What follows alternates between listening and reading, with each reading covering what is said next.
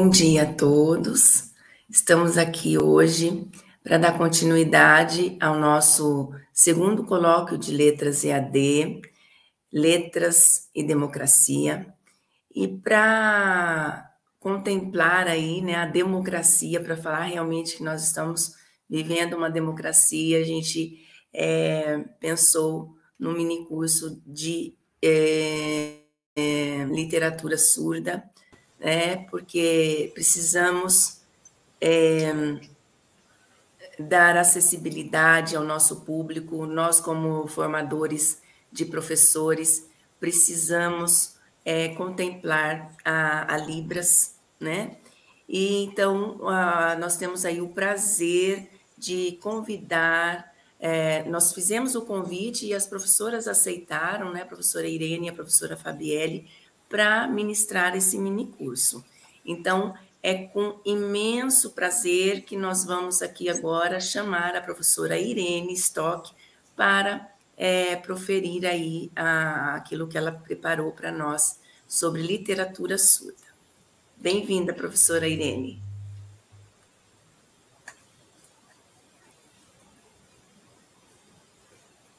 Oi, tudo bem? É um prazer estar junto com vocês, né, dando esse mini curso aqui na Unicentro. É um prazer enorme estar junto com vocês. Então, então agora eu queria mostrar para vocês né, esse meu sinal, né? Eu sou professora de Libras já há 15 anos na Unicentro, agora estou aposentada né? Vamos, pode começar os slides, por favor.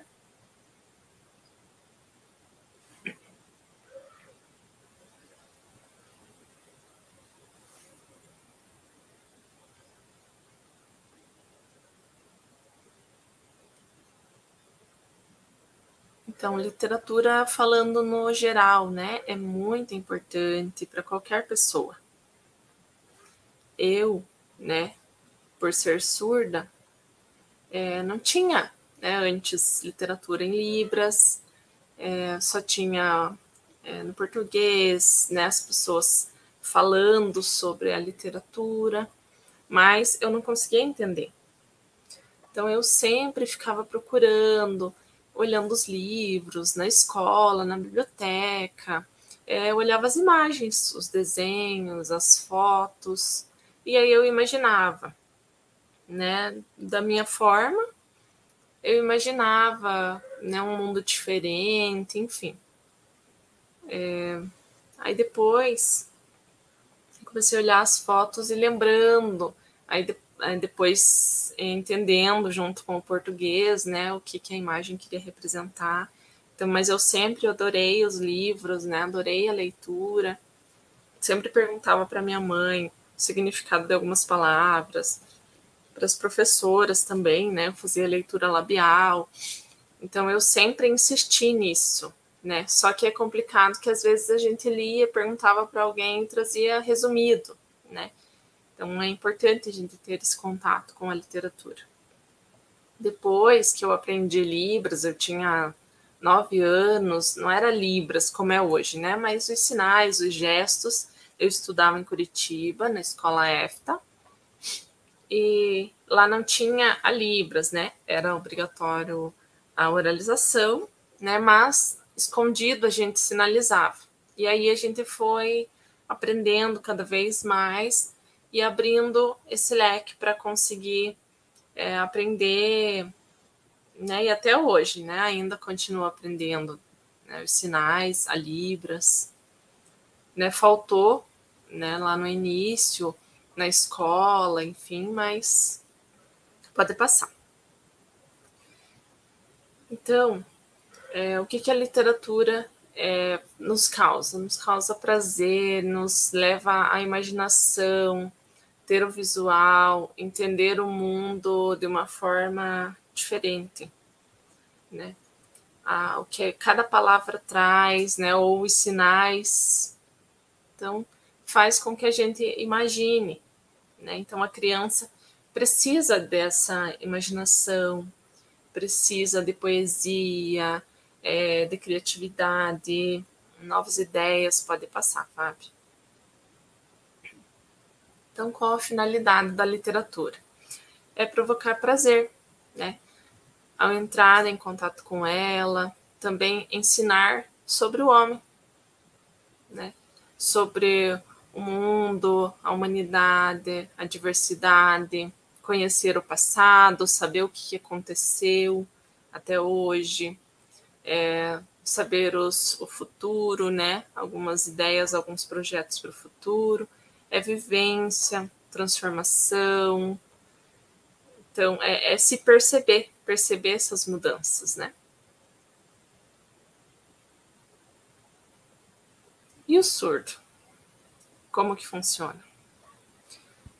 Então, como que, como que o surdo vai imaginar, vai, vai trazer isso? Por quê? Será que é da mesma forma que o ouvinte?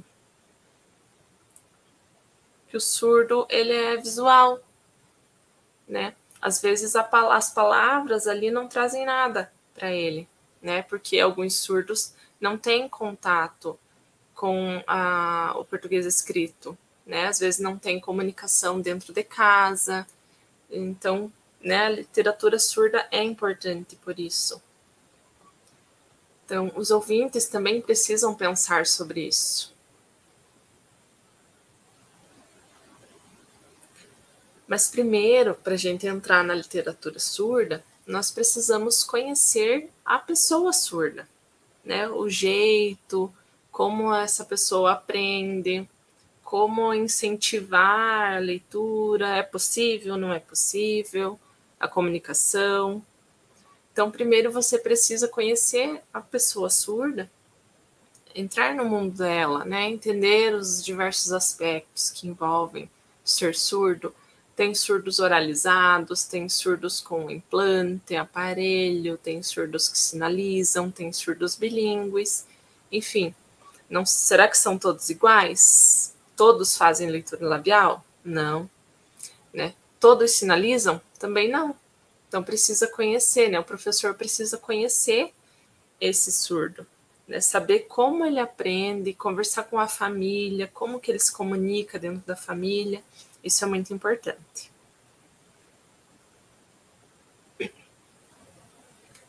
Então, na família, né, com, com filhos ouvintes, né, no, a família ouvinte, no geral, né?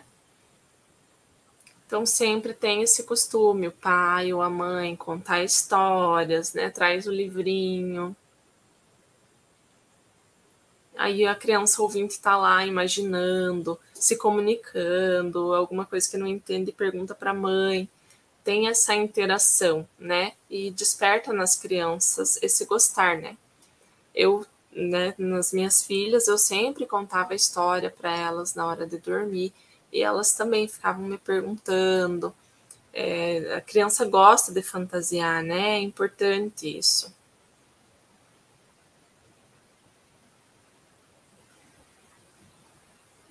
Aí as crianças ouvintes interagem é, ali na brincadeira, às vezes conversam sobre essas histórias, mas o surdo normalmente fica é, fica na margem disso, né? Ele não consegue entender, ele não consegue interagir ali, se sente sozinho.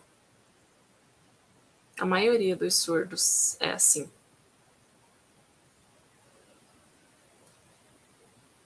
E nas famílias que têm filhos surdos, a maioria, 95% dessas famílias, são de famílias ouvintes que não conhecem a Libras, a língua de sinais, e que não sabem se comunicar com essas crianças. Então, por isso, a maioria dos surdos normalmente é, tem esse atraso no desenvolvimento da sua língua, porque quando os pais estão ali conversando com ele enquanto bebê, falando em casa, ele não tem esse estímulo, né, já que ele não escuta, né. É, a vida da, da família toda através da, da língua falada, né, da língua oral, e o surdo não tem esse desenvolvimento. Quando a família percebe que a criança é surda, precisa ter essa interação através dos sinais. Pode ser treinado também a leitura labial, mas aí é outra história. Na verdade, eu, né, quando era criança, o que, que eu fazia? Eu estava sempre com os animais, né? Eu gostava de ficar com os meus cachorros, com os gatos, né? Porque com eles parece que eu conseguia interagir melhor, mas a gente precisa mudar isso, né? Na escola também, né? Às vezes é, o professor chama os alunos para ir para a biblioteca, né? Muitas escolas têm esse costume, empréstimo de livros para levar para casa. E o surdo?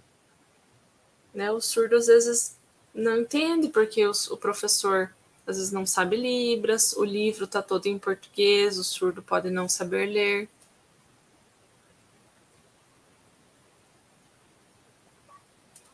Então, o que é literatura surda? Por quê e para quê? Será que é importante?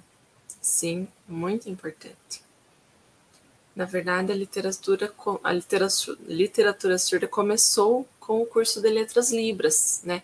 Tinha antes, mas ela começou a ter um enfoque maior.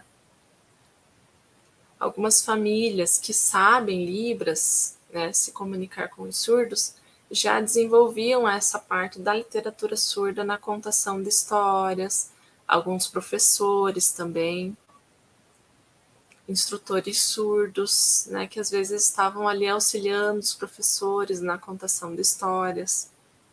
Também famílias de, de pais surdos, né, às vezes tem filhos surdos, toda a família é surda e toda a comunicação em família é feita através da língua de sinais, então já havia essa essa interação através da literatura. Então, essa literatura contribui para a aprendizagem dos alunos, né, aprendizagem do sinal, da sua formação como bilíngue, estimula a criatividade, a imaginação e a linguagem, né, segundo a autora Rosa o autor Rosa. Promove também o desenvolvimento social e afetivo das crianças, é, segundo Cacau Mourão.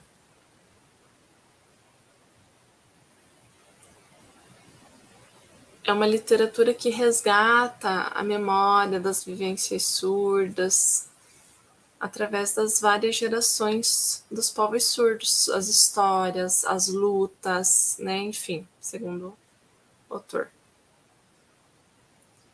Então, a literatura surda sempre existiu? Sim, sempre existiu, mas infelizmente não havia esse registro da literatura. Mas sim, já existia, já existia através dos gestos, é, já tinha piadas, poesias, é, enfim, né? Porque depois do Congresso de Milão, em 1880, foi proibido a língua de sinais, né? Então, é, os surdos não podiam sinalizar, mas nos encontros né, entre os surdos, nas associações, enfim, ainda permaneceu a conversa por sinais. Então, infelizmente, a gente tinha já essa literatura surda, mas não havia registro. Então, é, ela persistiu, né? A língua de sinais foi proibida, mas persistiu, né? Mostrando novamente que é uma língua, né? A, sua força, né? Teve outras línguas aí que, que desapareceram com o tempo, por exemplo, o latim, né? Mas a Libras mostrou a sua força, né? As línguas de sinais, porque persistiram, né? O surdo precisa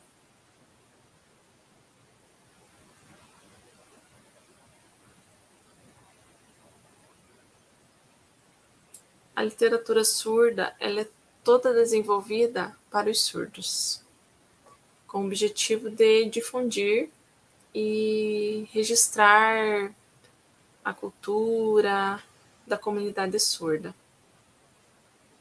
Né, a língua de sinais, tudo que envolve a literatura surda, ela traz a língua de sinais, poesias, contos, é, histórias, enfim, toda a literatura.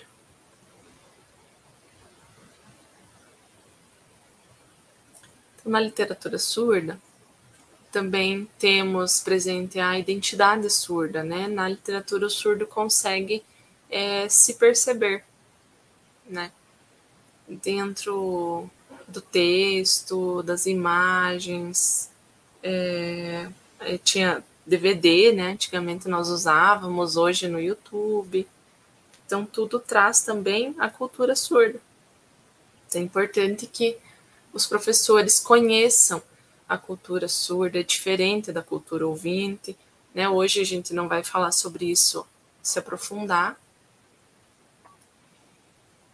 É importante, muito importante o visual na literatura surda, porque é através do visual que o surdo aprende, né? Ele precisa entender né, ali o que está acontecendo, né? Ali como vocês estão vendo nas imagens, é, né, o que está acontecendo ali com, com o Homem-Aranha.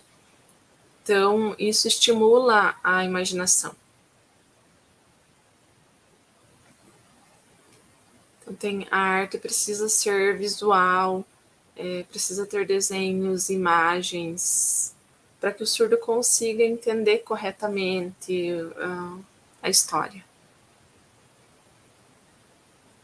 Segundo Mourão, para entender a literatura surda, é preciso conhecer a cultura surda, né, como que funciona, os estudos surdos, é, precisa estudar, pegar artigos, né, conhecer sobre isso e também precisa conhecer a língua de sinais.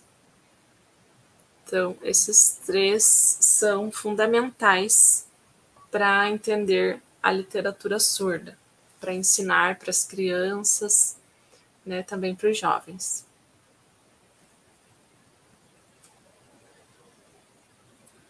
Então, tem várias é, outras literaturas, mas eu trouxe aqui né, a tradução, a adaptação e a criação.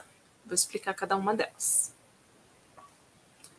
Então, na tradução, é, a gente utiliza alguma história seja da cultura ouvinte, como está ali o exemplo da Chapeuzinho Vermelho, e traz essa tradução para a língua de sinais.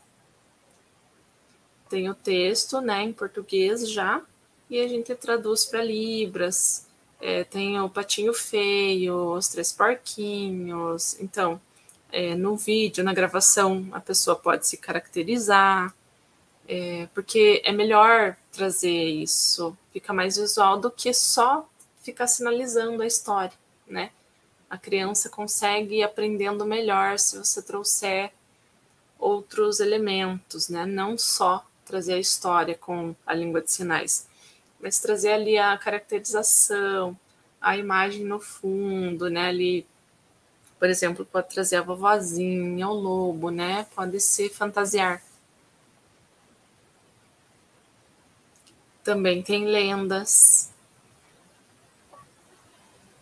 contos, né? Tudo através da língua de sinais, né? Então trouxe ali alguns sites. Também o Pinóquio é uma história que tem a tradução, é bem legal. Porque se o surdo lê o texto, às vezes ele não entende, né? Então precisa ter essa encenação, digamos assim, né? O INES faz essa produção é, dos livros, né, da, da tradução. Então tem aí os DVDs, todos, ah, todos têm as histórias na língua de sinais,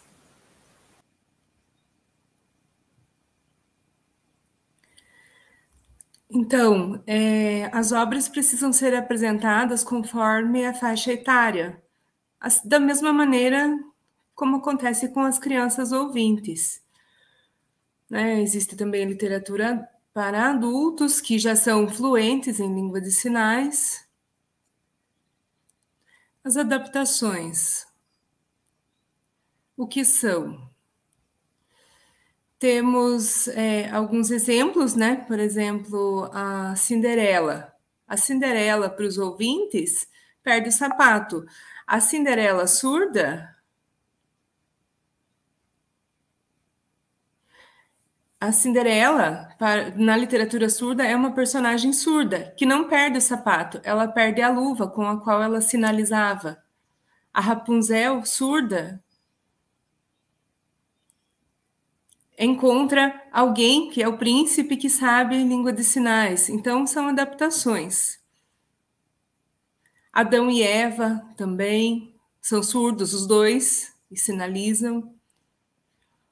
O Patinho Feio é uma adaptação, o patinho adaptada para o patinho surdo, que é um patinho que é diferente porque não consegue se comunicar com as pessoas da sua família, então ele encontra uma comunidade sinalizante.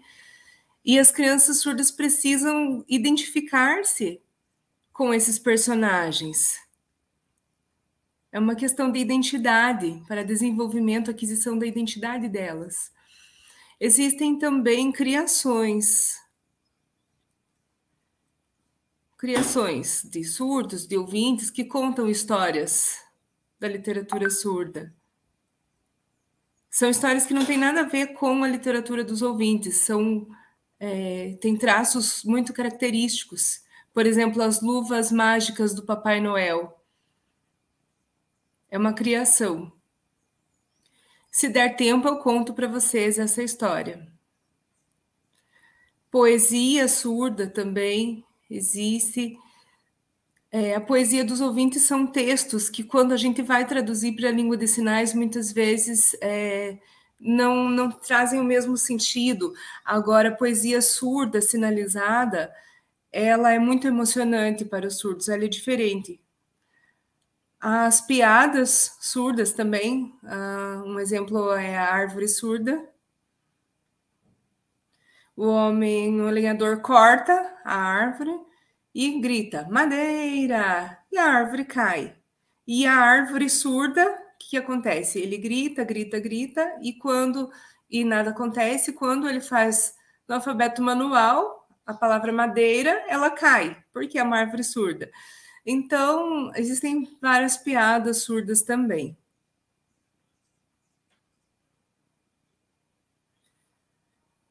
Sarau, é este o sinal. Existem agora, né? Os jovens estão criando é, novos gêneros, novas piadas, novas formas.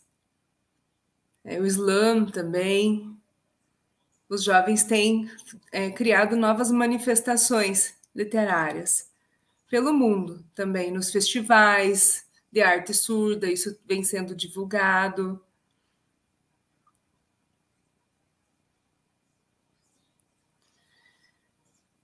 Então, a língua de sinais é para os olhos o que as palavras são para os ouvidos dos ouvintes. Nós ouvimos com os olhos.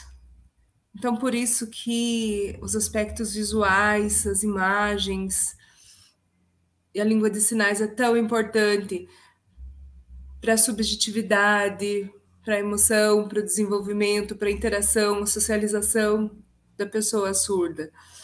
Então, é muito importante que os professores saibam língua de sinais, para estar em contato com essas crianças. E que a criança surda tenha, tenha contato com surdos adultos, que seja um modelo linguístico e identitário para essas crianças, que elas percebam que elas são capazes de se desenvolver, de lutar. É muito importante esse contato com os professores surdos é fundamental. Porque eles são modelo para essas crianças, é muito importante. Então, é, eu agradeço. Agora vou passar a palavra à professora Fabielle, e se der tempo no final, ah, eu vou contar a história Tibi e Joca para vocês. Obrigada.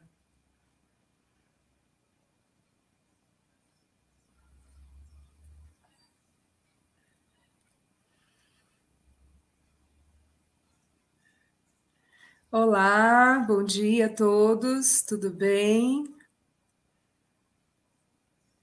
Só um momentinho para a organização dos slides.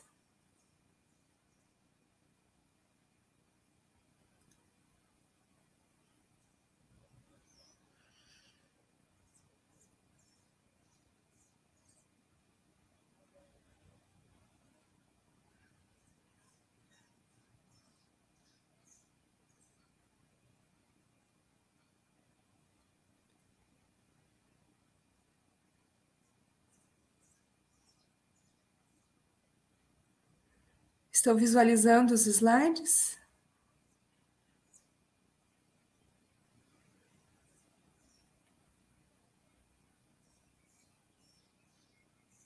Ok. Meu nome é Fabielle. Este é o meu sinal. Sou surda. Neste momento tenho dois trabalhos, estou atuando na Unicentro e no CAS, Guarapuava. Também é, sou ex-aluna da professora Irene, que vem me ensinando muito desde pequena. Também foi minha professora no curso de pedagogia, já na Unicentro. Então, estamos juntas há bastante tempo trocando experiências. E isso tem sido muito importante.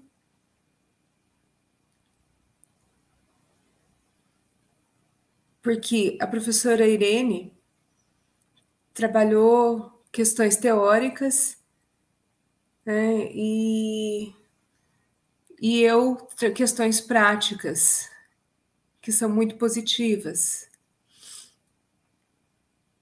Esse tema, literatura surda, é muito relevante, como a professora Irene já explicou, né? comparando também em relação ao desenvolvimento das crianças ouvintes, a imaginação. E eu vou falar sobre a contação de histórias como recurso pedagógico.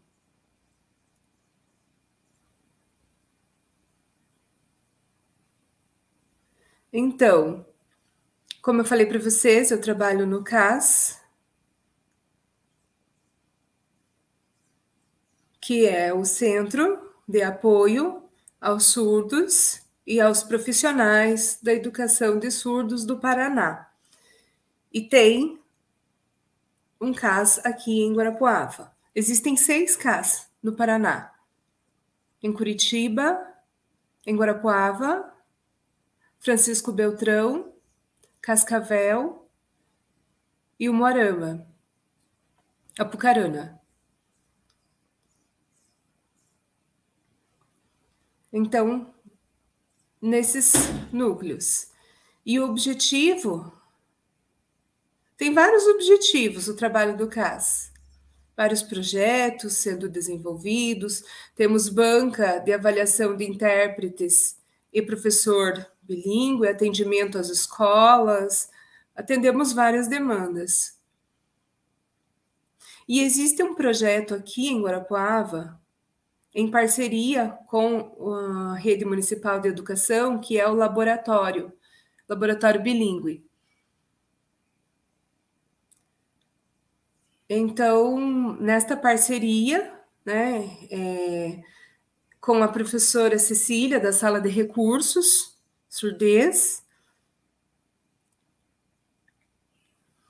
Nós temos é, o atendimento desses alunos que estão inclusos não em uma escola centralizada, não em uma escola bilíngue, mas em diversas escolas do município, inclusive nos distritos. Então, no momento é uma luta muito grande, porque nós não temos um, é, uma escola onde o ambiente linguístico seja adequado ao desenvolvimento dessas crianças. Mas toda sexta-feira nós temos o atendimento das crianças no laboratório bilíngue. Temos 14 alunos, entre 3 até 11 anos de idade. E uma das propostas é estimular a aquisição da língua de sinais para essas crianças, através também da literatura surda. O que é um desafio para nós, porque precisamos estar criando, buscando estratégias metodológicas.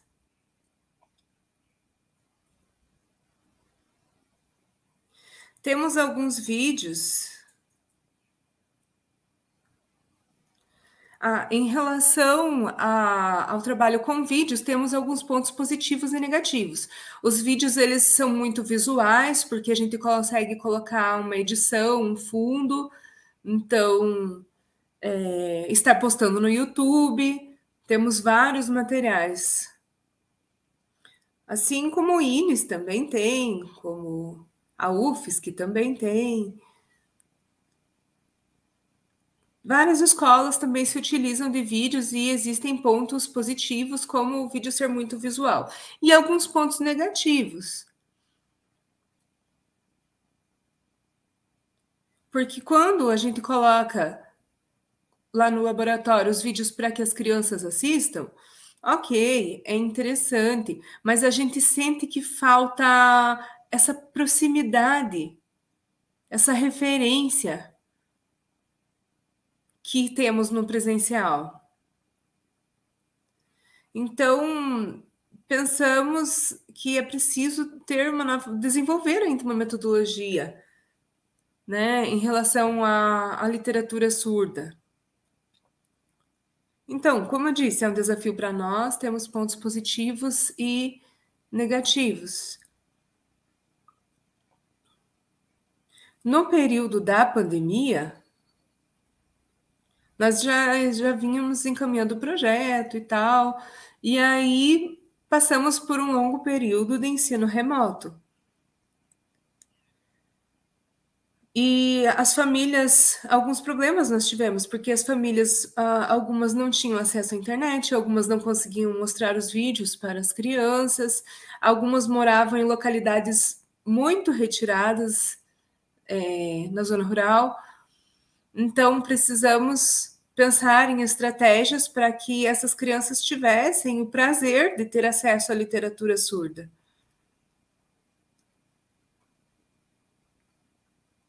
Então, aqui temos um exemplo, né? não, não é o nosso trabalho, é um vídeo que a gente pegou. O fundo está ótimo, né? está claro, mas falta proximidade, as crianças não conhecem né? Esta pessoa que está ali sinalizando. E existem as variações linguísticas também. Então, é, assim como a língua portuguesa, né, tem os seus regionalismos, né? Algumas palavras são diferentes dependendo da região do país. Os sinais também têm essa variação linguística que as crianças não dominam. Uma criança maior, já um adolescente, tudo bem, ele consegue, ele já tem essa maturidade de perceber essas variações linguísticas, mas uma criança que está começando o seu contato com a língua de sinais ainda não. Então, nós, é, da equipe do CAS, pensamos em estratégias e criamos três personagens que são referência para as crianças o Cadu, a Clara, que tem este sinal, e a Ana, que tem este sinal. Os três, né, são professores que trabalham no CAS, foram criados esses personagens para que as crianças tivessem essa referência. O primeiro personagem foi o Cadu, que surgiu, a segunda a Clara, a terceira a Ana. E as crianças começaram a se interessar muito mais pelos vídeos. Por quê? Porque as histórias possibilitavam que a criança se identificasse. Eles puderam ver um personagem surdo e ter contato com esse personagem surdo, porque o Cadu é surdo, a Clara é surda e a Ana é ouvinte E os três, é, Cadu e Ana são irmãos e a Clara é prima deles. Então, é, uma caracterização dos personagens com roupa, com acessórios, da forma como as crianças naturalmente se vestem no dia a dia, para que as crianças tivessem essa referência e pudessem estar se identificando. Então, isso foi muito positivo.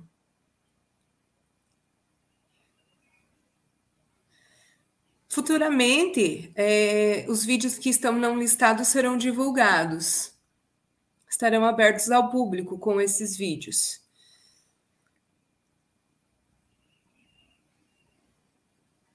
Então, aqui temos um vídeo de cada personagem que eu vou mostrar um, um fragmento desses vídeos.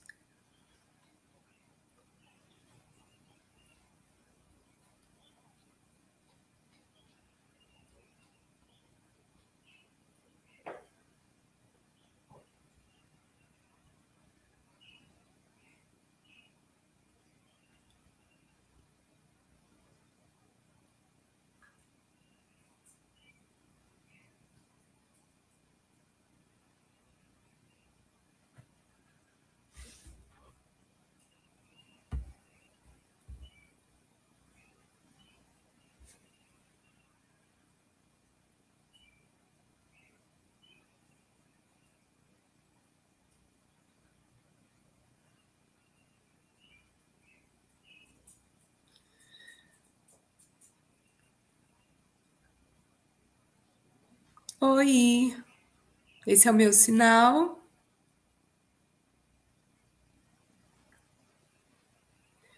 E o meu nome?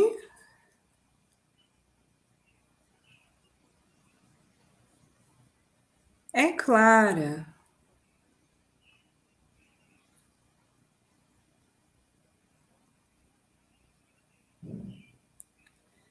Eu sou prima do Cadu. Vocês conhecem o Cadu? Então, sou prima dele.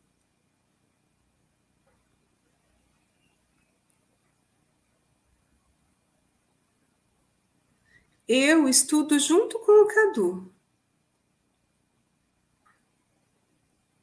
Tenho nove anos.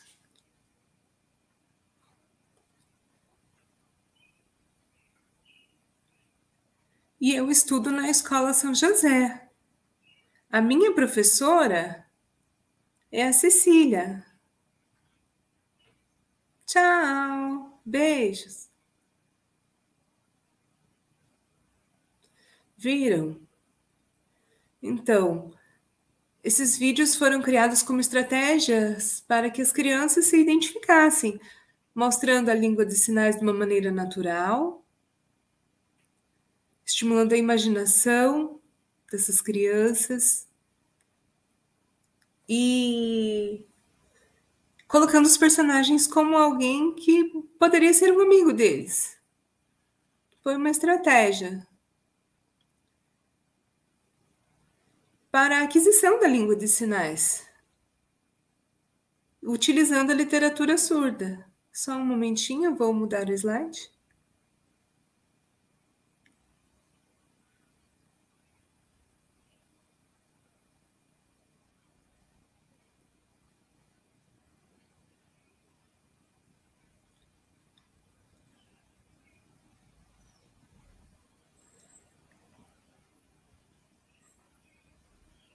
Então, é, no momento da pandemia, tivemos a preocupação de tentar nos aproximar das crianças e por isso começamos a fazer meets.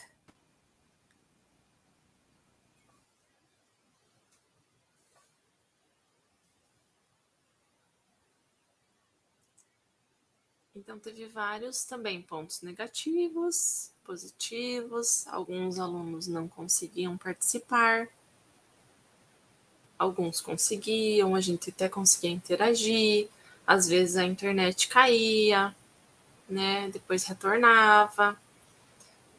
Então, vocês estão vendo ali, ó, que tava poucos alunos participando, né? Mas a gente conseguia fazer esse trabalho, a interação, ter esse, esse contato, né, para estimular também o desenvolvimento da, das crianças. Foi muito legal essa experiência, né? Presencial, claro que é, é muito melhor, né? Mas a gente achou essa alternativa para esse período da pandemia, né? Então a gente já criou, né, assim como a Irene explicou, né, existem as três formas da literatura surda, tem a tradução, a adaptação e a criação, né, como a Irene já explicou. Então, aí nós temos 40 vídeos né, que o CAS fez essa produção, que é muito importante porque tem a parte visual, tem ali o cenário, é, tem a língua de sinais, assim como a professora Irene explicou e trouxe os autores ali, o que Mourão falou que era importante ter a cultura surda, os estudos surdos e a língua de sinais, então tudo isso faz parte desses vídeos. Né? Precisa estudar, precisa preparar de que forma vai ser feito, para que fique de forma mais clara, né? Por exemplo, a língua de sinais, não dá para usar a língua de sinais formal, né? Tem que fazer uma adaptação, uma nivelação de acordo com o perfil das crianças, né? De cada criança. Se você for, dependendo do público que você vai apresentar a história, né? Da, da faixa etária. Então, nós temos 40 vídeos. Então, por que foi feito esses vídeos? Muitos deles foram feitos na, no período da pandemia, né? Então, a gente teve a publicação, mandava no WhatsApp para as famílias estarem mostrando para as crianças surdas. Foi bem legal, né? Então, 40 é bastante já, né? Mas a gente não parou, né? O trabalho continua, a gente ainda está criando outras coisas. Então, tem sobre vários assuntos, tem animais, tem é, trazendo flores, é, florestas, enfim, tem várias histórias. É, foi muito boa essa experiência. Então, quando voltamos né, para o presencial, assim que foi possível, né, que a pandemia foi sendo amenizada. Então, alguns dias nós utilizávamos os vídeos e aí depois a interação, né, em sala com eles. E às vezes contando, né, a contação da história presencial, por exemplo, os três porquinhos. Foi muito legal. As crianças né, adoraram, porque trazia ali a, a caracterização, né? tem eu e tem um outro professor surdo. Nós dois nos vestimos né, de personagens. Então traz o visual, a gente prepara o cenário. É, como vocês podem ver ali atrás, né, tem os porquinhos. É, então todos esses recursos pedagógicos são importantes, né?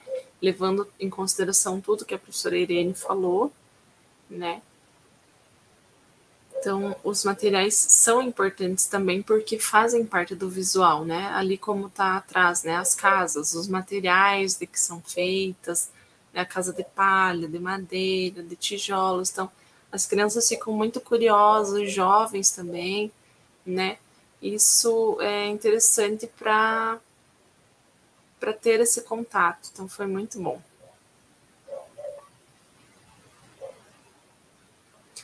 também sempre a gente traz, né, é, outros assuntos dentro do contexto, né? Por exemplo, nós trouxemos a história dos três porquinhos e aí a gente vai também trazendo é, outros sinais, né? Você já trabalhou a história dos três porquinhos? Ok.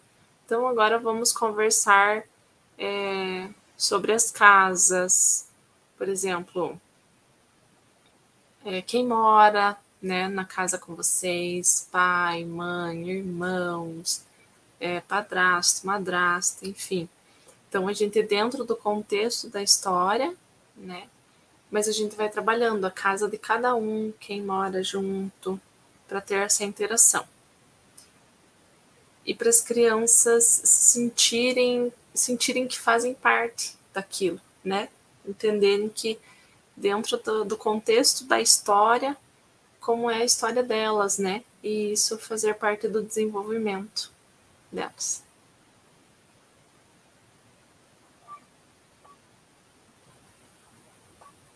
Então aí também, né, no presencial, né, como eu falei, a gente passava né, alguns dias o vídeo, né, a gente criou esse vídeo Leão Surdo. Foi muito legal. Eu só vou mudar aqui para passar para vocês.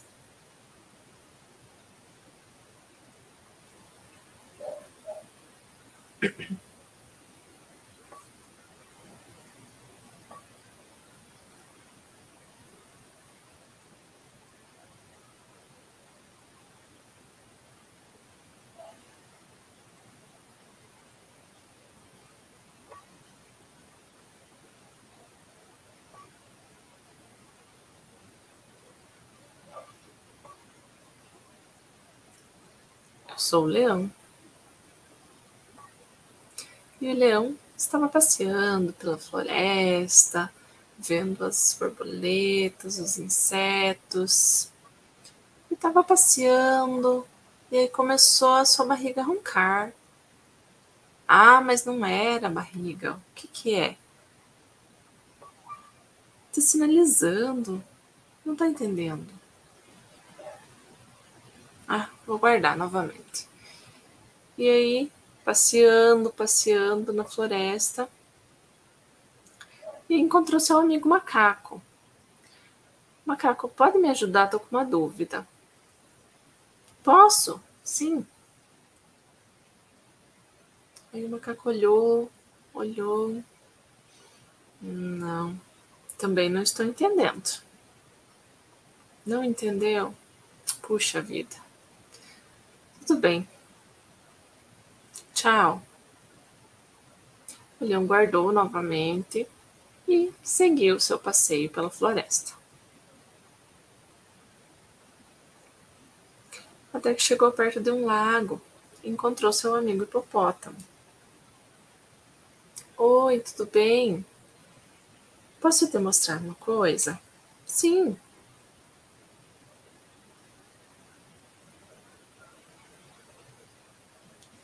Nossa, também não entendo.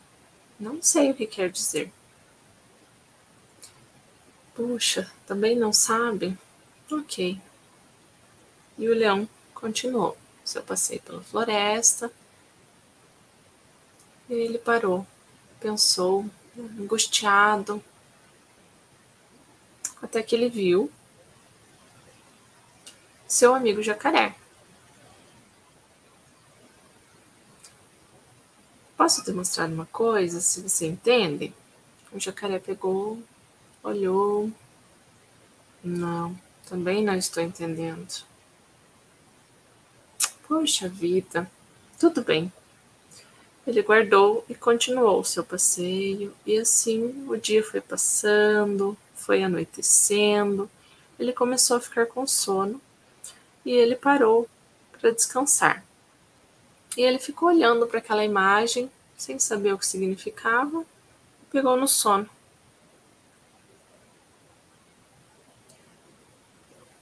Quando o dia amanheceu e o leão acordou, ele viu, né, que a imagem estava ali ao seu lado novamente. Guardou e continuou passeando pela floresta. Até que ele encontrou uma leoa que estava ali com seu notebook, vendo sinais.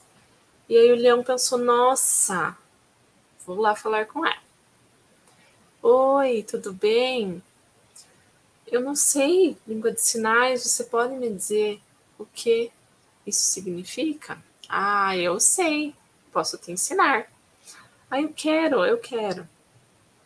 E aí sentaram os dois e foram aprendendo língua de sinais.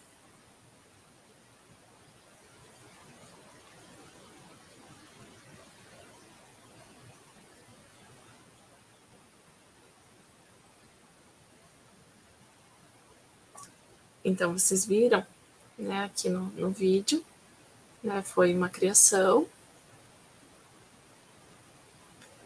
para falar. Desculpa, pareceu para mim que caiu a intérprete, mas ela já está aqui. Então, como eu mostrei aqui no vídeo, é, a gente quis mostrar nesse, nessa história que às vezes muitas pessoas não conhecem a língua de sinais, então, né, às vezes você é, pode ter contato com algum sinal, mas não saber o que significa. Né? Às vezes o surdo está ali curioso para saber, procurar, perguntar para as pessoas. Né? Então, a gente trouxe ali vários animais que não sabiam né, o que significava, né? até que encontrou um animal que sabia a língua de sinais e que foi ensinar para ele. Então, isso é importante, essa, esse tipo de criação, né? Porque traz aí para as crianças né, entenderem uma, uma forma de como é realmente na, na sociedade. Às vezes a família não conhece língua de sinais, a família não aceita o uso de língua de sinais. Então, por isso, a gente tenta criar essas histórias é, fazendo com que as crianças reflitam sobre o significado, que sintam é, como isso pode se dar na sua vida. Né? Então, tem essa interação, né? Então, a gente aproveita, a gente trabalha vocabulário, né, para as crianças irem adquirindo os sinais.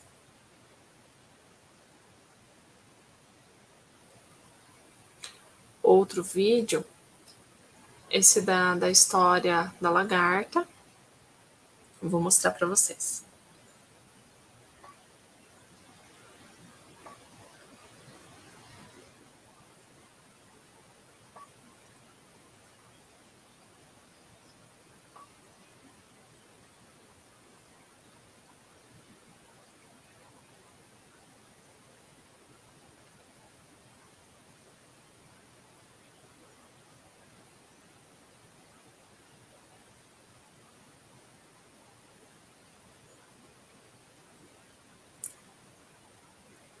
Então a lagarta estava passeando por ali e morrendo de fome, então ela enxergou uma árvore e ela subiu, subiu, subiu.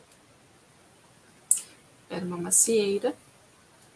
Então ela comeu, comeu, comeu. Tem, mas hum, não, não gostou. Então ela desceu da árvore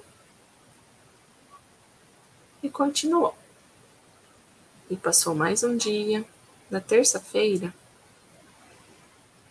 ela estava com fome, com fome, e ela começou a procurar as árvores e ela encontrou. E subiu, subiu. E era uma árvore que tinha peras. E ela comeu, comeu, comeu. E até não querer mais. Aí ela desceu. Mais um dia se passou. Na quarta-feira,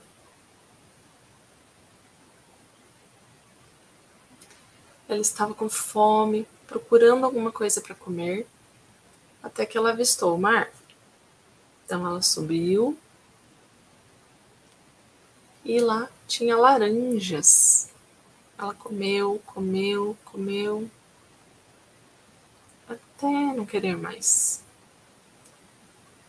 Aí novamente ela desceu da árvore e continuou. Mais um dia se passou. Na quinta-feira,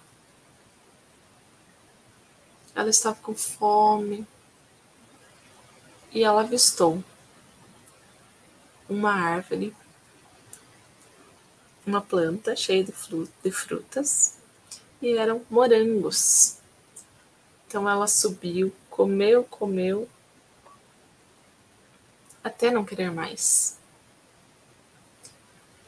Ali ela desceu, continuou passeando e mais um dia se passou. Na sexta-feira, ela com fome, procurando o que comer, até que ela avistou uma árvore. Ela subiu e lá tinha é, tangerina. E ela comeu, comeu, comeu, até não querer mais. Então ela desceu da árvore e continuou. Mais um dia se passou. No sábado, ela estava passeando, olhando as árvores e morrendo de fome, até que ela avistou uma árvore cheia de folhas. E ela subiu, subiu, subiu. E ela experimentou as folhas. Comeu, comeu, comeu. Achou delicioso. Continuou comendo, comendo. E aí aconteceu uma transformação. E ela foi descansar no seu casulo. Passado mais um dia, no domingo, ela começou a acordar. E quando ela acordou, ela percebeu que tinha asas coloridas e que podia voar.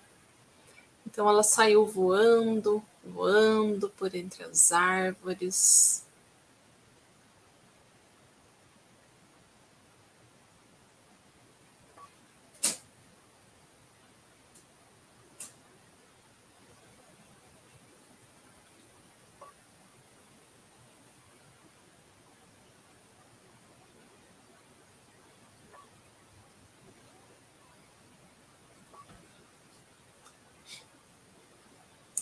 Então vocês viram, né, que esse vídeo as crianças amam.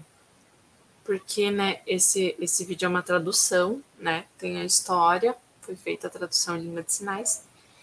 E as crianças amam porque tem todo o contexto, tem ali o fundo, tem a parte visual, né? Por exemplo, atrás da fruta, né? Quando falou ali da pera, tem a imagem da fruta atrás, o morango, também tem classificadores, então tudo dentro do contexto e as crianças elas adoram, né? Elas ficam muito curiosas nessas histórias.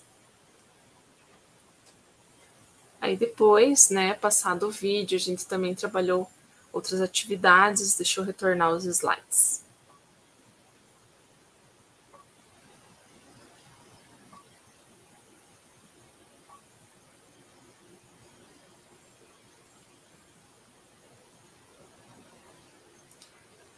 Então aí tem né, uma das crianças, tem ali na sua frente a atividade, né?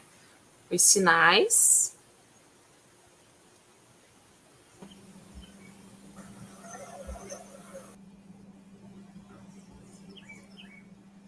Então, como vocês puderam ver, a criança assistiu e sinalizou. É, foi um vídeo curto, né, assistiu essa mesma história.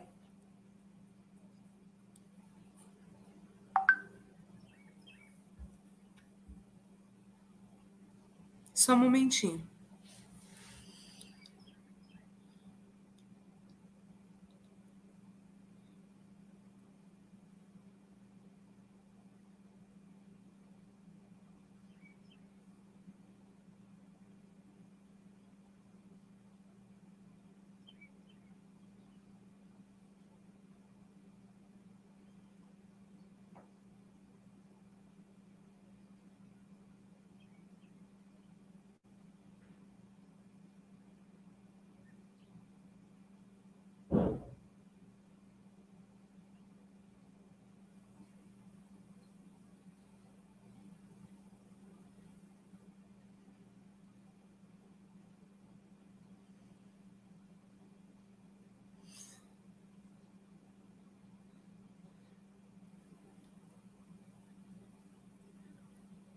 Na terça-feira, a lagarta comeu pera.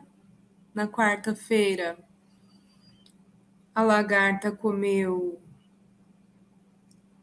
laranja. Na quinta-feira, a lagarta comeu morango.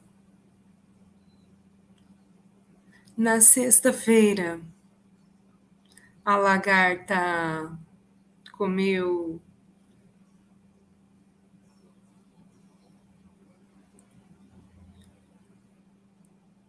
No sábado, ela comeu folhas. Aí no outro dia, ela dormiu. E depois saiu voando.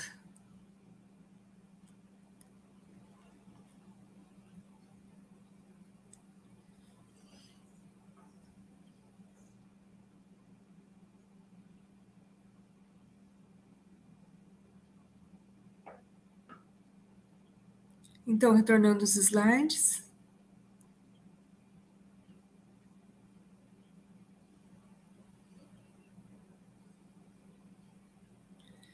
Então, viram este menino? Ele tem quatro anos, e nesse período, nesse período do vídeo, ele tinha quatro anos. Então, ele assistiu, depois ele fez atividade, E depois a família gravou o vídeo dele sinalizando, e isso é bem importante, porque mostrou a compreensão dele. Não dá só para mostrar o vídeo e, e pronto.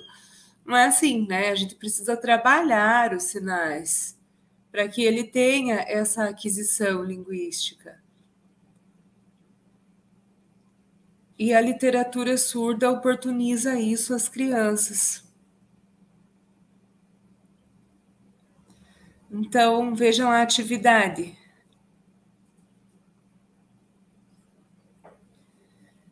Sempre a referência é o personagem, contando a história e aparecendo nas atividades. Ponto negativo, o que, que a gente percebeu? Que não tinha proximidade das crianças no momento do vídeo com os personagens. Mas como ponto positivo é estar usando essas estratégias. O mesmo personagem que conta a história pode ser depois o que aparece na atividade e a criança vai relacionando. Então, já no formato presencial, as crianças é, fizeram ali temos as crianças surdas que fizeram atividade da história da lagarta. Nós fizemos um caça-tesouro, dividimos em grupos da história da lagarta e da história do leão também. E as crianças precisavam procurar as pistas, que eram sinais, e colar ali no painel. Então, foi um momento de interação muito rico para as crianças. E é sobre, sobre isso que se refere também a nossa metodologia. Temos também o desenvolvimento da criatividade das crianças através dessa contação de histórias e dessas atividades. Aqui tivemos um momento também presencial é, que trabalhamos uma contação de história cujo tema era uma viagem. Trouxemos uma mala e convidamos as crianças a estar viajando conosco, aonde tinha neve, que roupa poderíamos usar, procurando na mala, vestindo roupas de frio, cachecol, gorro. As crianças precisavam procurar as roupas adequadas. Depois fomos viajar para a praia, e procuramos as roupas adequadas. Não foi uma contação de história que eu, enquanto personagem, contei sozinha, mas as crianças foram convidadas a interagir e participar, estar se colocando como personagens também desses lugares de frio, de calor.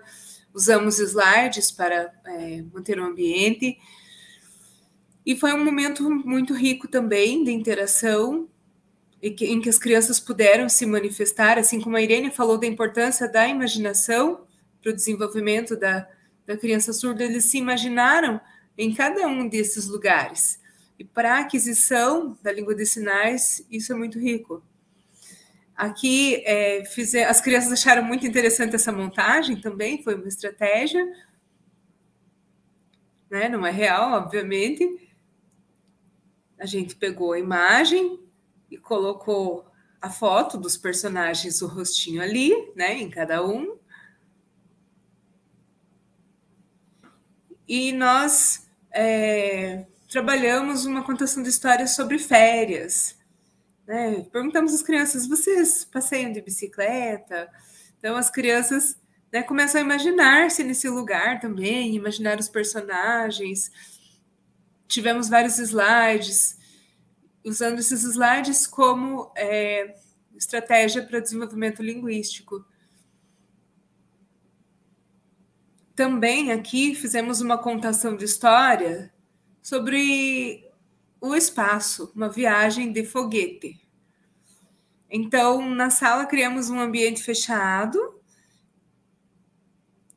simulamos ali a projeção, simulamos estrelas com uma projeção, o espaço, né, no escuro, onde eles puderam estar olhando para cima, admirando, imaginando como seria estar entre as estrelas, a lua, e as crianças tiveram essa experiência visual também, que foi muito linda. Também fizemos um passeio, um passeio de carro, utilizando esse material. É muito engraçado, porque às vezes as crianças, né, o material era um pouco frágil e as crianças precisavam, que, acabavam quebrando e daí um tentava ajudar o outro e ali eles sinalizavam, ali eles interagiam. E foi assim uma atividade que ocorreu de uma forma bem leve, natural.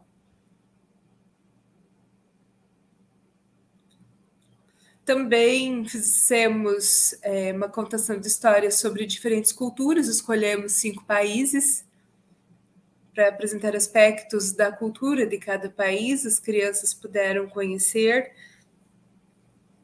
é, sobre gastronomia, dança, roupas típicas. Depois oportunizamos as crianças é, essa experiência, né, de estar se vestindo, de estar comendo, esses, esses alimentos diferentes, referentes a cada cultura, foi muito interessante. Aqui estávamos mostrando a dança típica de cada um desses países.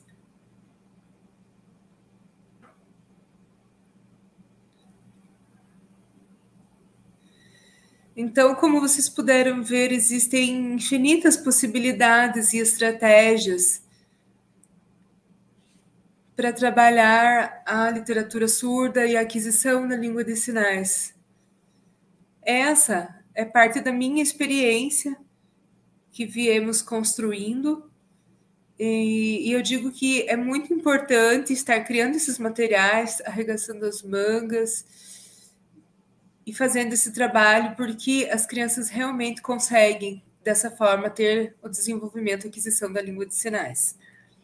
Então é isso, muito obrigada. Espero que vocês tenham gostado. É, agora a professora Irene retorna.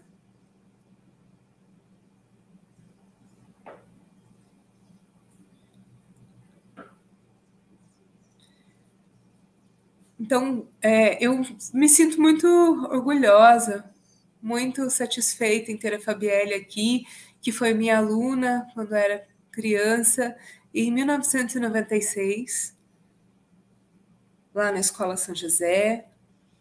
A metodologia naquela época não tinha tantos recursos como a gente tem hoje. Eu, na época, não era professora, porque ainda não tinha formação, eu era instrutora, eu viajava pelo Brasil buscando materiais, ideias, estratégias metodológicas possíveis no momento. É, e tive outros alunos que hoje já são adultos, né, eu buscava formas de ensinar essas crianças, de oportunizar também a eles a literatura através de materiais que eu mesma desenhava, porque antigamente a gente não tinha computador, então eu mesma desenhava, pintava, colava, recortava, montava cartazes, ia trabalhando os sinais e as histórias com eles. Teatro, roupas, jogos, materiais, brincadeiras. Dessa forma, a gente foi trabalhando, mas no começo, vou contar para vocês que ensinar a língua de sinais é, eu tive muitas dúvidas se isso seria bom, mas depois eu percebi como eles aprendiam, como eles se desenvolviam, e como isso é base também para que depois eles aprendam a língua portuguesa como uma segunda língua na escrita. Primeiro, eles precisam ter domínio da Libras. Então, é, depois também fui professora da Fabielle no curso de pedagogia, me sinto muito orgulhosa por isso também. Por isso eu falo da questão do modelo do professor surdo, como é importante que as crianças surdas tenham contato com professores surdos, para que eles percebam que eles também são capazes. Então, muito obrigada, Fabielle, sabe, eu te desejo muito sucesso, fico muito orgulhosa de tudo que você faz. Obrigada a você, professora Irene, por ter sido essa referência tão importante para mim. Então, continue, Fabielle. Então, a Lei de Libras do ano de 2002, Lei 10.436, é muito importante. Por quê? Porque difundiu a Libras nas escolas, na sociedade, e existe essa legislação. Ela garante o nosso direito linguístico enquanto surdos, garante o direito das crianças, o desenvolvimento delas. Também temos o decreto 5626 de 2005, que é fundamental para que a Libras esteja como disciplina nos cursos de formação de intérprete, dispõe também, é, além da disciplina de Libras no curso, nos cursos de licenciatura, também os cursos de formação de intérpretes, de professores de Libras, professores bilíngues, e a Fabielle explicou como as imagens, as roupas, a caracterização, os aspectos visuais são importantes antigamente a gente não tinha muitos recursos.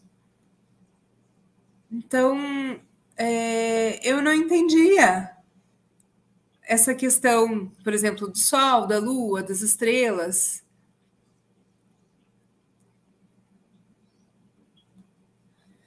Eu achava assim que Deus tinha um interruptor que ligava e desligava o dia e a noite. Que ligava e desligava o sol. Eu não entendia essas questões de astronomia. Então, quando eu tinha mais ou menos 13 anos, já estava lá no, na oitava série, mais 14 anos, 15. Eu já estava lá na oitava série, junto com um grupo de alunos da escola.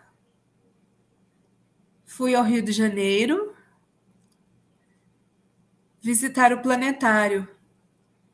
E aí eu vi como que funcionava a questão dos movimentos da Terra em torno do Sol. Nossa, e aí que eu fui compreender como é que era. Vejam com que idade, porque antes eu não tive acesso a isso, a essas informações. Então, como a professora Fabielle mostrou esses materiais, a lua, o sol, para os pequenos, e eles já estão aprendendo. Nossa, isso é muito importante. Então, como a literatura surda ajuda no desenvolvimento das crianças e na aquisição da linguagem? Parabéns, professora Fabielle, continue lá com o grupo do CAS, lutando. Eu apoio sempre vocês. Agora vou mostrar a história Tibi e Joca. Só um momentinho, colocar os slides.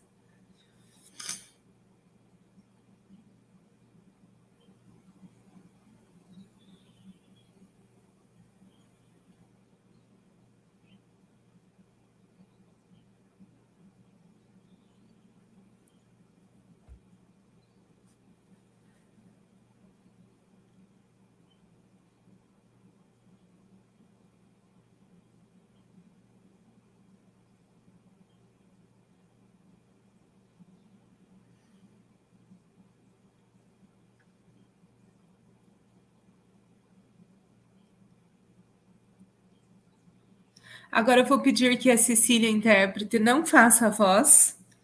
Eu vou sinalizar e vocês vão olhar e vão ver se vocês entendem ou não, ok? Combinado.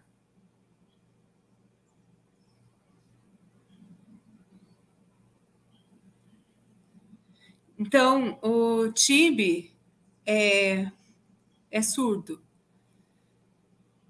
E o Joca é amigo dele, ouvinte. Conta a história dos dois mundos. Pode passar.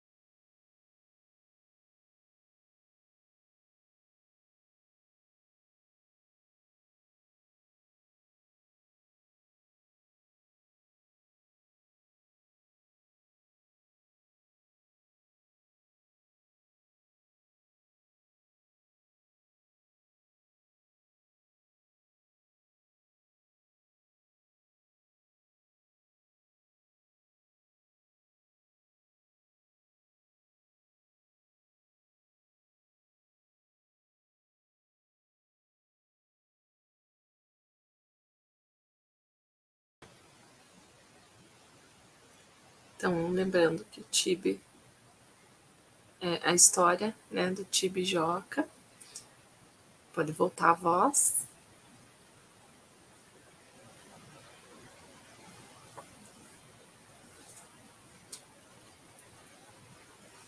Bom, agora eu queria saber se vocês entenderam ou não. Queria que vocês me respondessem aí no, no chat se vocês entenderam.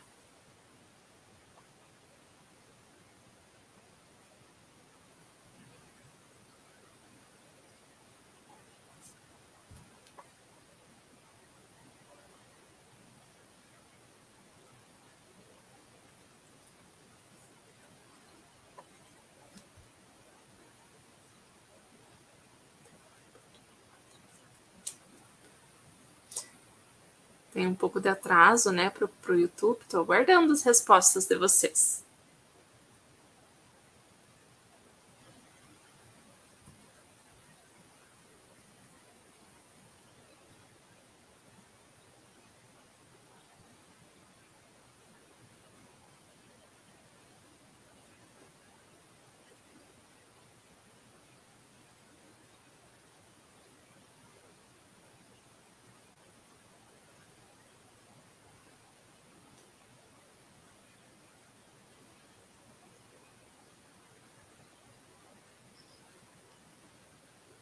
Ai, que bom, entenderam.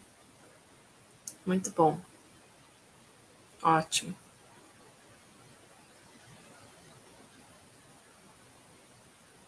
Então é muito importante, né? Como ali tem as imagens, é, palavras às vezes nem são necessárias, né? Através apenas dos sinais já dá para entender, né? Até mesmo os ouvintes conseguem entender. Então, essa é a forma como o surdo aprende, né? Como mostra ali no início, né? O pai e a mãe, aquele susto, né? Aquela, aquele medo de não saber como trabalhar, né? Como interagir com o filho surdo. Isso muitas vezes por falta de informação, né? Mas a gente tem que a língua de sinais é muito importante, ela precisa estar presente dentro de casa, né, na comunicação, e os pais precisam saber que a cultura ouvinte é diferente da cultura surda, né, que o surdo pode aprender tudo, ele tem capacidade, ele porque às vezes você não sabe, pode ter um contato com algum surdo, né?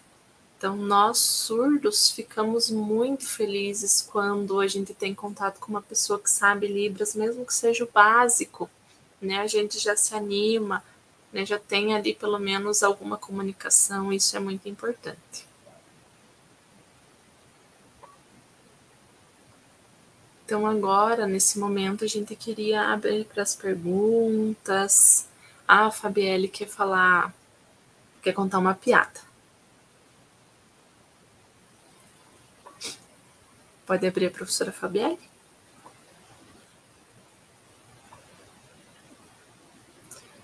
Então, pedir para só para tirar a Irene.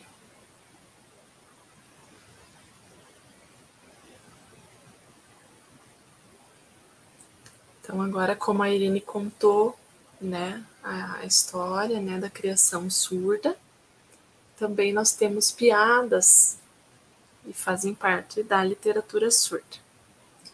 Então, queria passar um pouquinho para vocês, pedir para Luana não fazer a voz, né, não falar, e eu vou sinalizar, ok?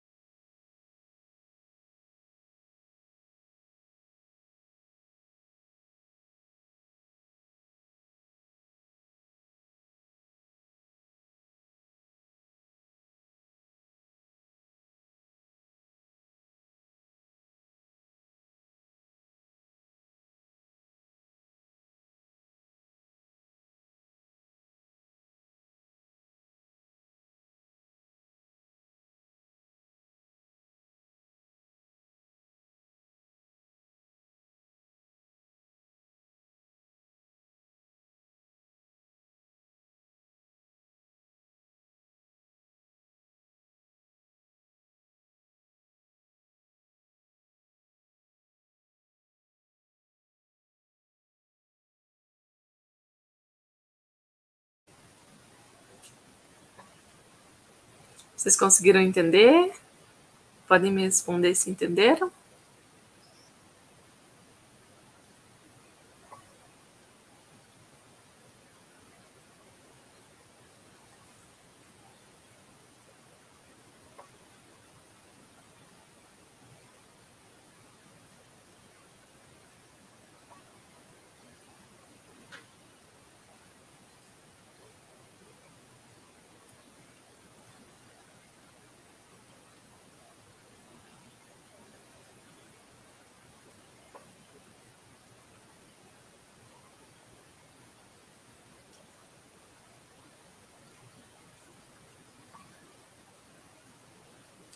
Não tem problema.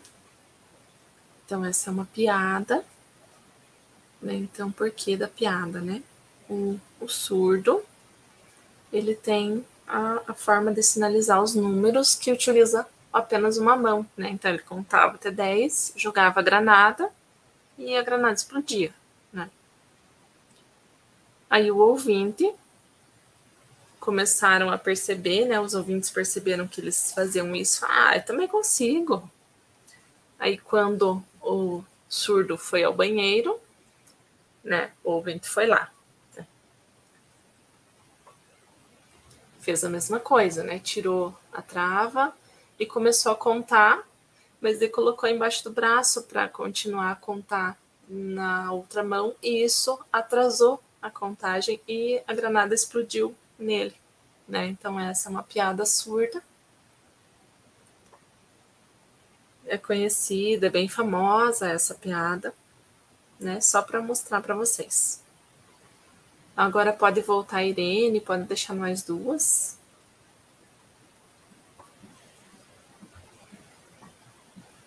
Muito legal essa piada. Às vezes, dependendo da piada, é diferente, né? É diferente a piada surda e a piada ouvinte, né? Porque são culturas diferentes. Muitas vezes os ouvintes não conhecem a cultura surda, às vezes não entendem a piada, né? Mas assim, a gente queria agradecer, agradecer as intérpretes, também agradecer a professora Sandra pelo convite.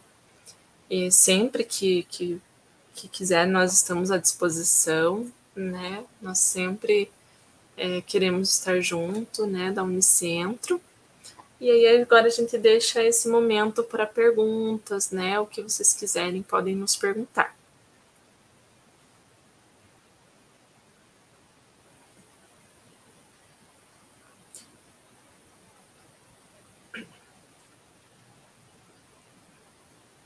Alguém tem uma pergunta? Tem alguma pergunta no chat?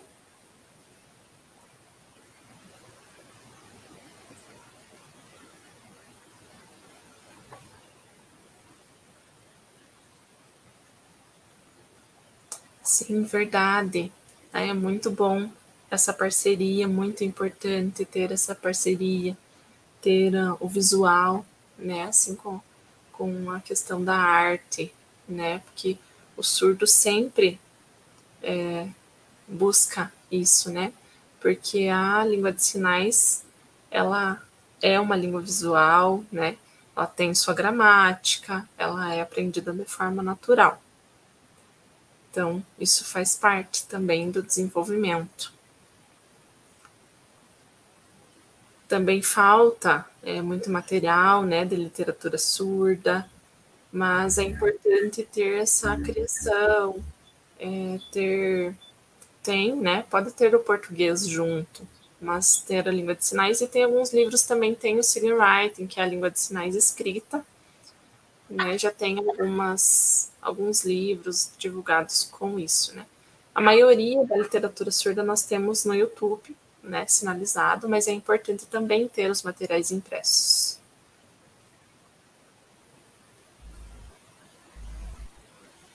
É, eu quero agradecer imensamente né, a participação de todos vocês, dos, do, dos que estão lá no chat, lá nos assistindo,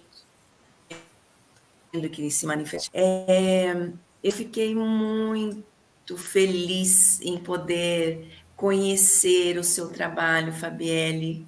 É, eu acho que precisamos trazer para a universidade é, tudo que está sendo feito, né? Porque é, nós não temos conhecimento, né?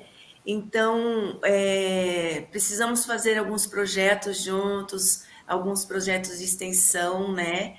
Para ajudar nessa é, elaboração de material, né? É, de divulgar esse trabalho. É, a, a literatura surda, fiquei encantada. Da interpretação a gente sempre vê, mas a, a criação, isso é importante, né? É, é, pensar aí que a gente tem a, as pessoas que podem criar também. As crianças, elas, elas podem, é, elas têm a, o seu lado poético, não é? Então, é, é necessário estimular, incentivar, né? Para que a, a, possamos ter aí é, escritores, né? É, então, é, é uma abertura muito grande e que é, a gente percebe que é necessário uma formação de professores, né? É, empenhados né, no, no, ensino de Libras, a trabalhar aí com o bilinguismo, é, terminar aí as teorias, né, para o ensino de Libras. Então, muito, muito, muito obrigada mesmo. Eu estou assim, é, eu estou na, estou na área de Libras, então, assim, cada momento é, eu, eu me interesso mais, né?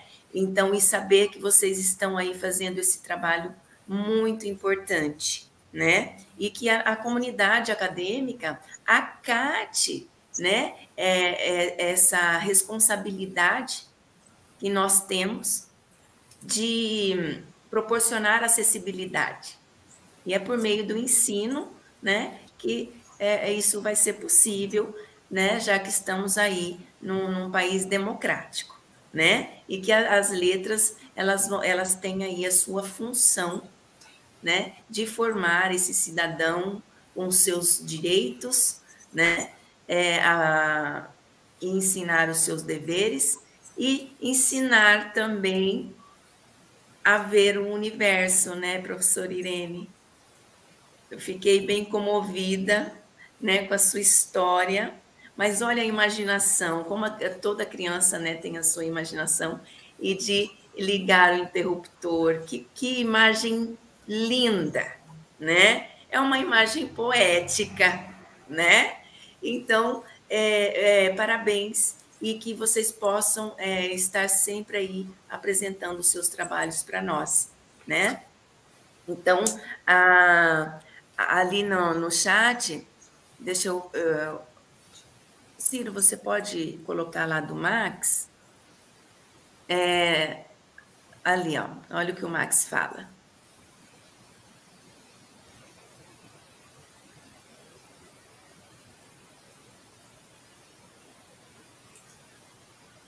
Isso é muito importante, né? A imaginação é, precisa andar né, em conjunto, né? A criança precisa é, entender que ela é igual, né? A qualquer criança, né? Não se sentir isolada, é, junto com as crianças ouvintes que tem ali é, a, a conversa, tem português, tem outras línguas, né, línguas estrangeiras, né, também. E às vezes também a criança ouvinte pode não entender se tiver contato com outra língua, né? Então, da mesma forma, pode ter um amigo surdo. Eu já senti isso na pele, né? Muitas, é, muitas vezes já me senti sozinha, né? Ah, quando eu estudei lá na EFTA, em Curitiba, né, eu tinha alguns colegas e aí depois a gente fazia, a gente fazia essas criações, esses desenhos, é, imaginando, né? Então isso é muito importante, né? Escrever, é, criar histórias, trazer um pouco do que é ser surdo. Eu acho que, que falta isso, né? Precisamos de mais e mais, e precisamos do apoio dos ouvintes para conseguir isso.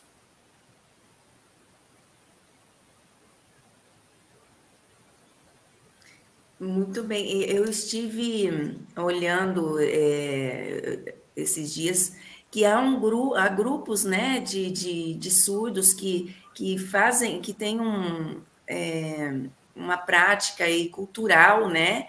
Então, e isso é muito importante também é, a gente divulgar, né? É, eu vi que eles fazem, é, são apresentações, competições, é, como se fossem os repentes, nossa, né? Então, é, eu achei tão interessante, então nós precisamos conhecer mais a cultura surda, né? Respeitar, saber como que eles estão se expressando, porque todo ser humano ele vai se expressar, por isso que precisa da língua, da língua, né? Então, como que é a, a, a, as linguagens, né, utilizadas pelos surdos para manifestar aí os seus sentimentos, o seu comportamento, né? Então, é, eu acho que nós precisamos é conhecer mais, né? e vocês estão ajudando muitíssimo. Então, no chat não tem mais nenhuma pergunta, mas o Max está parabenizando todas. É, nós que nós agradecemos é, todos a participação e, e, tenho certeza que ficou aí um gostinho de quero mais, né? E, e nós vamos querer mais realmente, né? Então, se vocês é, tiverem, é, já terminaram, é, quiserem agradecer, a gente abre o espaço e eu estou imensamente grata.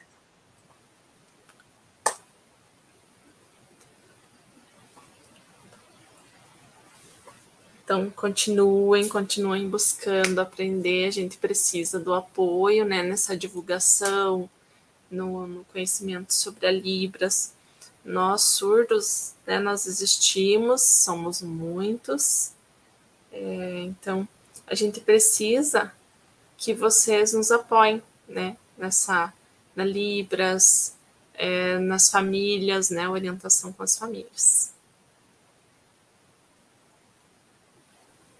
As pessoas estão agradecendo, a professora Maria Cláudia está é, dizendo que está com saudade da professora Irene, né? Então apareça, professora, para nos ver, né? Vamos ficar felizes. Então, muito obrigada por abrilhantar o nosso evento. E bom dia a todos. Bom dia, um abraço. Tchau. Obrigada, obrigada.